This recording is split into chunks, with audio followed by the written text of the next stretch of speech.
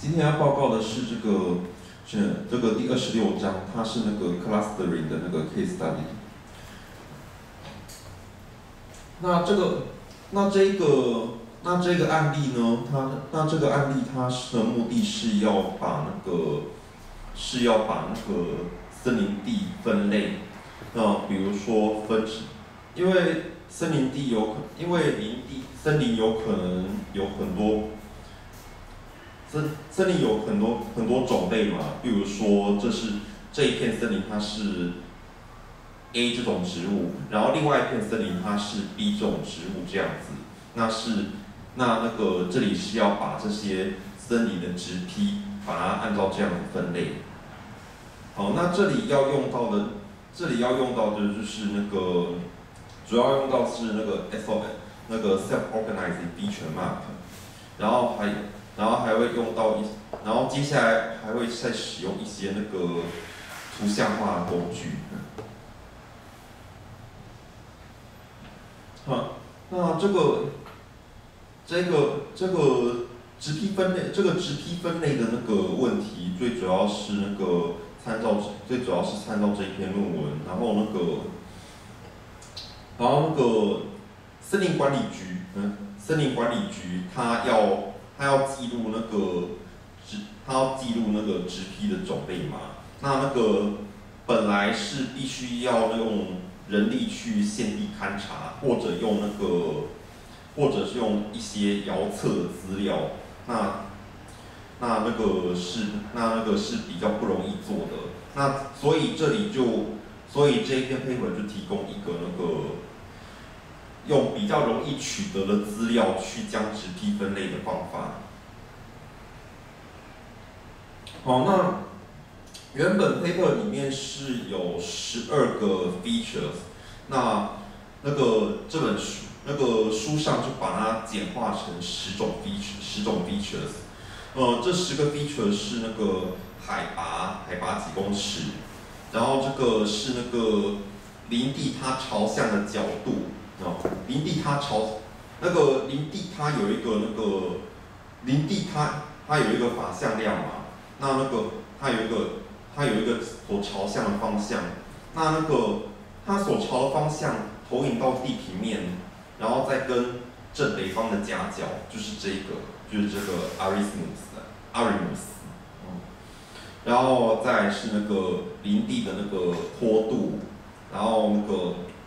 跟最近的跟最近的表面水的垂直的水平和垂直距离。然后跟最近的道路的水平距离，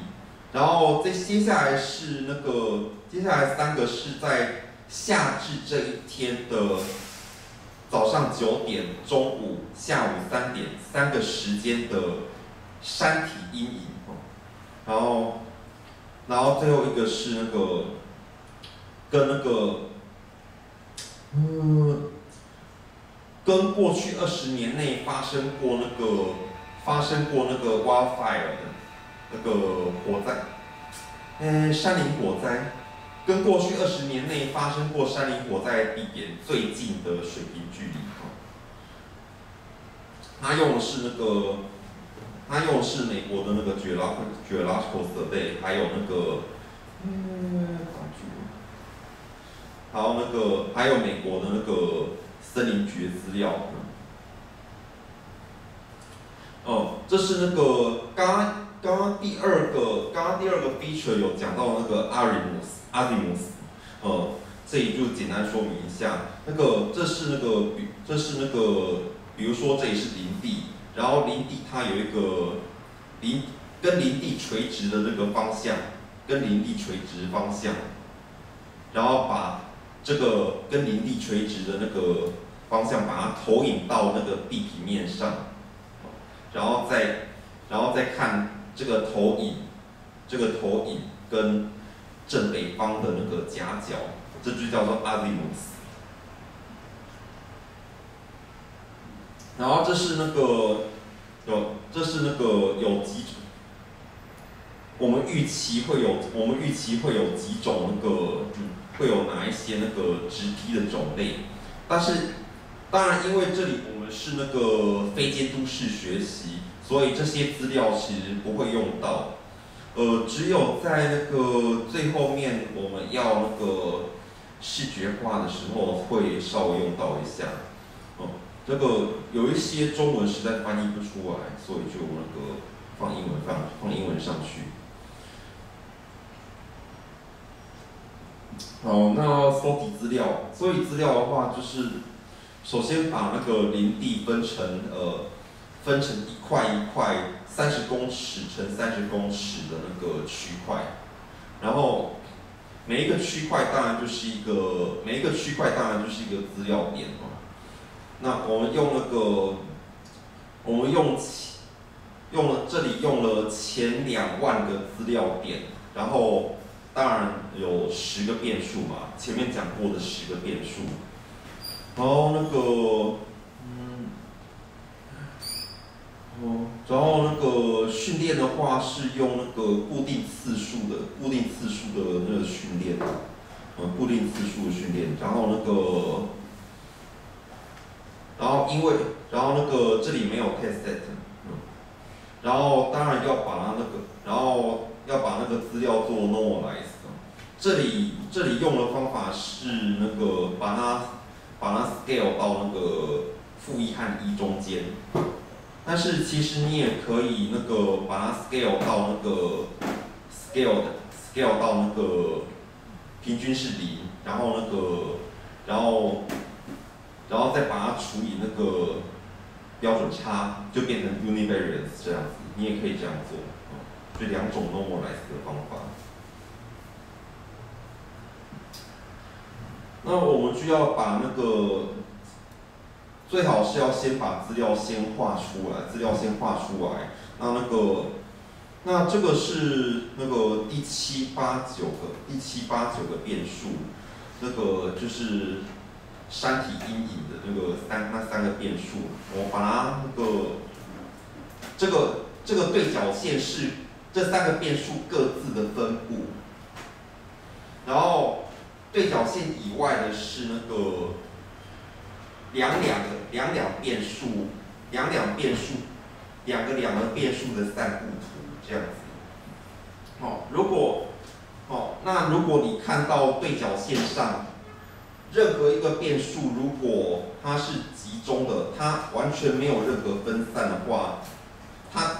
如果一个变数它都集中在某一个值的话，那这个变数就可以其实就可以不要了。那如果那如果你看对角线以外的地方，如果有任何一个有任何两个变数，它的关系是很接近线性，呃，这个这个看起来快要了，不过也没有到完全线性。嗯，就是如果。如果两个变数是很接近线性的话，那你可以把其中一个舍弃掉。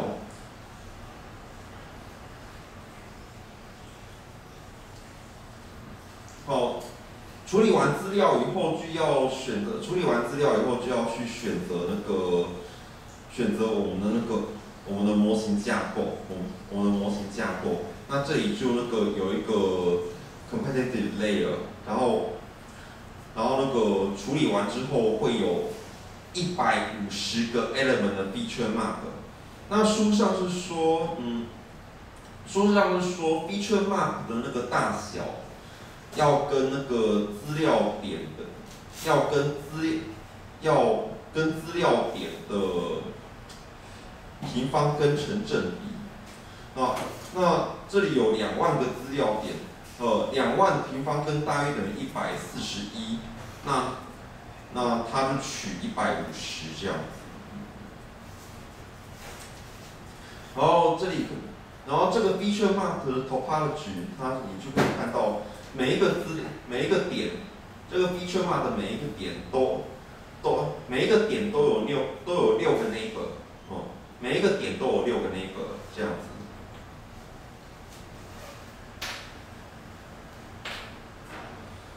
后处理完资料，然后选完那个模型架构，那接下来就要去训练网，训练这个训练我们的模型。那训练模型就是必须要先那个，先把那个 weight 把它那个 initialize，把 weight 给它初始化。那这里用的方法，这里用的方法，当然你可以那个完全用那个完全用乱数据初始化，但是这里用的方法是先把那个呃先把那个 input vector 把它取平均，哦取平均，然后就得到 mean vector，然后再把那个 input vector，哦哦刚刚讲取平均的话是。嗯，哦，反正反正就是把 input vector 的每一个 element 取平均，然后下面这个 covariance matrix 是把那个 input input vector 的嗯的任的任两个 feature，covariance matrix 就是把任意两个 feature 给它取那个 covariance 这样子。任意两个 feature，我们有十个 feature 嘛，那任意两个 feature 给它取 covariance，这样就得到一个十乘十的那个方阵。哦，那那个，哦，有了 mean vector，然后有了呃 covariance matrix，然后这个 covariance matrix 我们就取两个 eigenvector，取哪两个 eigenvector？取 eigenvalue 最大的两个 eigenvector，嗯，好，取完两个 eigenvector 以后呢，我们就用取，我们去用这两个 eigenvector 去展开那个，去展开我们这个，我们这个位矩阵的那个 row space 哦，哦，所以，哦，所以这个。这个 W 这个 weight matrix 的那个 row，每一个 row 就是我们用上面讲的 mean vector 加上这两个 eigenvector 的那个线性组合。再讲一次，就是用 mean vector 加上这两个 eigenvector 的线性组合。呃，不过要取哪些线性组合，书上没有说。嗯，反正就这样。好，那那个，好，那这样，那他宣称说这样子做，这样子叫做 initialization。他宣称说那个这样会比 random initialization 收敛来的快。我我很好奇，他这个方法跟现在大家哦的 deep learning 用方法，它。performance 不晓得差异如何。原来方法在在目前基本上看不到有人用，好，甚至有讨论这种用这样的方法。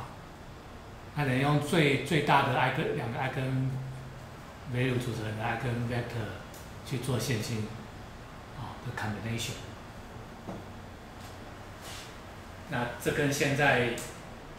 用一个高斯分布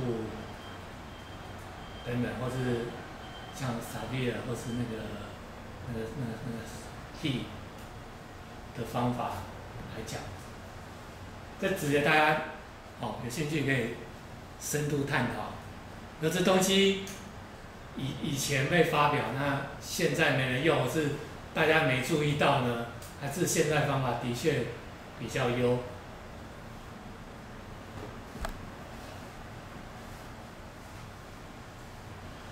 哦，那那个初始化完之后，我们就要去那个，我们就要去那个训练，我们就要去那个训练这个模型，我们就要去训练这个模型。那那个，好，那个那每一个对于每一个神经元 I，还有当我们在那个 DK 步训练的时候，哦，DK 的 iteration 的时候，那我们这个，我们就把这个 weight 那个，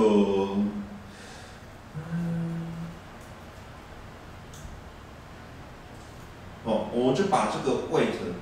呃，我已经不弄不太清楚这是行还是列了哦，反正就是把把反正就是。把这个 wi 把它那个把那个把那个 update 成这个样子，嗯，那这样子写其实就是那个，其实就是对那个 input vector，这个 p 是 input vector 嘛，啊，这样子写其实就是对 input vector 做那个加权平均，那加权平均的权重就是那个。权重，权重就是这个 h，所以是，呃，这个 h，那你看到 h 当那个，嗯，好，当这个 i 这个 neuron 是那个，是那个 input vector 的 winning neuron，input vector 的 winning neuron 的 neighbor 的时候，那那个，那那个它就非零，如果不是 neighbor 的话，那就是零。所以就是，其实就是把所有跟所有的 input vector，所有它的 winning neuron 的会跟 neuron i neighbor 相邻的那个这这一些 input vector 把它做平均。好，那那个那这个阿尔法它。阿尔法这里就是我，我们就把它叫做 learning rate。那那个，嗯，那这个阿尔法它呃一开始的时候，我们把它设，我们把它设大一点。然后当我们那个，当我们把那个当 iteration 变 iter 当那个 iteration 变高的时候，哦，当那个 weight，当这些 weight 它慢慢移动到这个 input space 的时候，哦，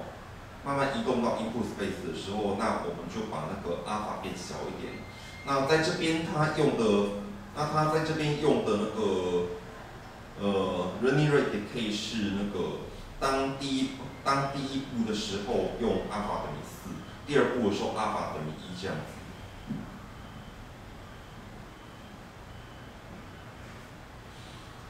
好，那那个训练完以后，我们就要去看说这个，我们就要去看说这个模型它的那个它的 error。这里提供两种，这里提供两种 error，就是第一个叫那个，第一个叫 quantization quantization error。那其那它看的是什么量呢？就是哦，就是每一个每一个 input vector，嗯。嗯，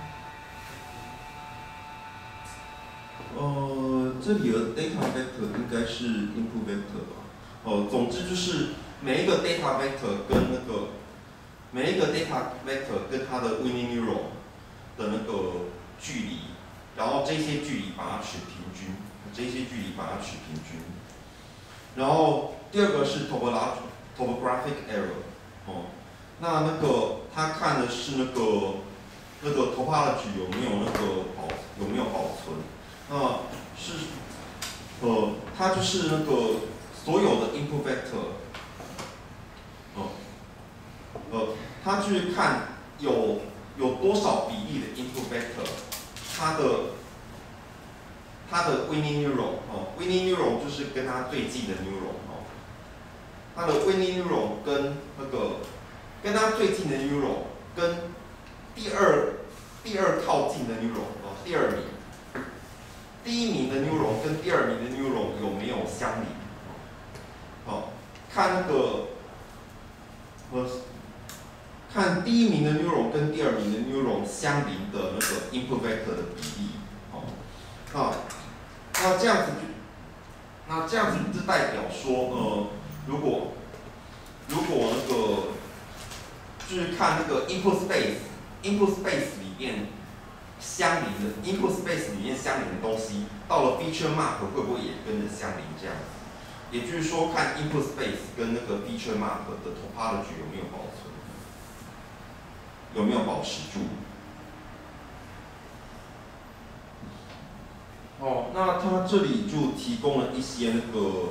提供一些那个视觉化、视觉化的工具来检验这个模型，来检验这个模型。那第一个就第一个就是那个 U matrix，U matrix，哦，那这个 U matrix，呃，它是怎么样呢？它是在这里粉红色的是，这里粉红色的是我画的，呃，粉红色的是一百五十个，呃，feature mark 里面一百五十个 neuron。那我们就把那个 neuron 里面，我我们就把每两个 neuron 中间再加一个空格，哦，所以这个这两个 neuron 中间加一个空格，然后这两个 neuron 中间加一个空格，反正就是每两。每两个 neuron 中间都加一个空格就对了，哦，那那个每两个两个 neuron 中间的那一个空格，就是那个就是它的它的那个值，就是这两个 neuron 这两个 neuron 对应到的 weight vector 的距离。好，两个 neuron 之间的那个空格，它的值就是这两个 neuron 对应到的权重，就是 weight vector 的距离这样子。那如果是这个这个 new 这个 neuron 本身的空格呢？neuron 本身的空格就是把它周遭六个周遭六个空格的值把它取平均这样子。所以是先算 neuron 之间的空格。然后再算 neuron 本身的空格这样子。哦，那那个我们呃，那我们可以看到那个这一百五十个 feature mark，这一百五十个 feature mark，我们把它的那个我们把它的那个质体种类，我们把它的质体种类把它标上去，我们把它的质体种类标上去，然后就我们就看到那个。我们就可以看到那个，呃，这字有点小，反正反正就是二集中在这一边，二集中在这一区，然后六集中在这一区，然后三四集中在这一边，啊，三四集中在这一边，所以你可以看到那个，所以你可以看到说那个这里有一条，这里有一条那个颜色很淡、接近白色的条纹。那所以你就知道说，这个 feature mark 它它其实有把二有把二跟二这个 label 跟其他的 label 给它分开这样子。哦，然后那个这里有另外一个视觉工具就是 component plane。哦，component plane 是什么样的东西呢？就是我每一呃，我有一个，我有一个那个 weight matrix 嘛，我有一个权重矩阵。那权重矩阵有，我们有十，我们有十个，我们这里有十个 features，有有十个，有十个自变数。那我们就把每一个自变数，哦，这个权重，这个 weight matrix，它的每一行。这个 weight matrix 它有十行，每一行都是每一行都有一百五十个，都有一百五十个 element。那我们就把每一行，每一行有一百五十 element，那这一百五十 element 就对应到这个 feature mark 上面的每一点，哦，这个 feature mark 上面的每一个位置。那我们就把每一个这十个 column，哦，这个 weight matrix 的十个 column。把它的值，每一个 column 的值就画在这个 feature mark 上面。哦，第一个 column 的值画在 feature mark 上面，第二个 column 的值也画在 feature mark 上面。哦，一直下去，一直画到第十个 column。哦，那我们就那个，我们就可以看到那个，我们可以注意到一、四、五、六。十，哦，一四五六十这十，这五个这五张图，它们有什么特点呢？它们都是那个左下角的地方颜色跟其他地方不太一样，哦，左下角跟其他地方不太一样，左下角跟其他地方不太一样，哦，左下角左下角这里左下角颜色比较淡，哦，所以那个，所以那个各位也可以各位也可以看到这个。这样子是那个这样子跑出来的那个 feature mark，这样子跑出，刚刚训练过后跑出来的 feature map 呢，那个它也可以那个它也有那个分辨直梯的功能，这样子，它至少把那个第二个，嗯，它至少把那个嗯第二种这个第二种直梯跟其他直梯给它分开来，这样子，嗯。呃，我大概就报告这样子。那其实书上还有另外一种那个视觉化工具，叫做那个好像叫 Hit Instagram，是不是？呃，那个我就真的实在看不懂这样子，所以我就没有放下来。哎，我怎么跑那么远？它好像也是很很类似的，就也还有那个六六角形的大小来表示。不一样。哦，对，据这个 hit Instagram，那那个有兴趣各位可以自己看这样子。好，那大概就这样。大家有什么问题？这个是前面那个 cell organizing feature map 的一个应用。之前那张如果完全没有什么下功夫，可能这一张会看的不飒飒。它它如果如果你对前面一张哦，它有没有在那个 winner 的 neuron 好周围的哦，就六个点，它它会去更新，那个是这个哦 SOFM 它一个一个特征，它它那个模型是一个哦 biological base 的 model，它看到就是对于那个视觉信号，你看到的那个。哦，那个位置的周周遭的 neuron，哦，它的强度都会比较强，然后周遭以外都会减弱。哦，它好像在那张好像叫什么 on on off，，on center 什么 off surround 之类的，啊，它这个一个生物在视觉上，啊，其他的那个感觉应该也是类似这样的，哦，像那个，就是像视觉这样的。就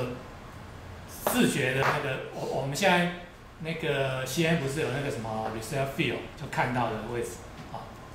它的概念就是我看到位置的那个那个 attention 的 point 的周围，哦，都同时会强化。就是为什么它它这个六角形也不是随便选的，这在在眼睛里面呢，的确就是呈现像这样的一个啊多角形，基本上就是。六角还八角，我有点忘记了，啊，很类似。好，如果没有问题，我们谢谢今天的讲者。